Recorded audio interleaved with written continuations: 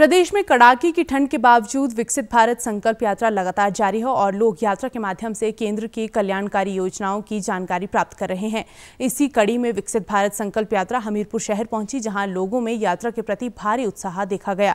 इस दौरान क्षेत्र के बुज़ुर्गों, बच्चों और महिलाओं ने बड़ी संख्या में यात्रा में उपस्थित होकर विभिन्न विषयों संबंधी जानकारी हासिल की। केंद्र की योजनाओं के लाभार्थियों ने विभिन्न योजनाओं से मिल रहे लाभ की जानकारी भी दी।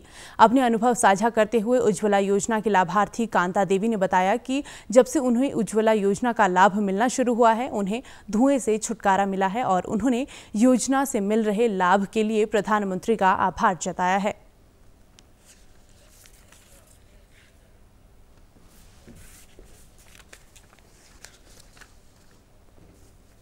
मुझे गैस सिलेंडर मिला है और मैं मोदी जी का बहुत बहुत धन्यवाद करती हूँ और धुएँ से भी हमें छुटकारा मिला।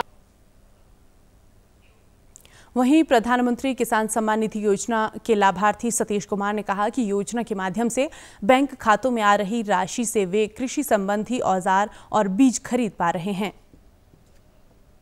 साल का जो है वो हमें प्राप्त हो रहा है और उस छः हज़ार से हमें बहुत सहायता मिलती है क्योंकि हमें बीज औज़ार खाद वगैरह लेने के लिए कई बार जेब में एक रुपये नहीं होता है। तो उस पैसे से हमें बहुत बहुत सहायता मिलती है।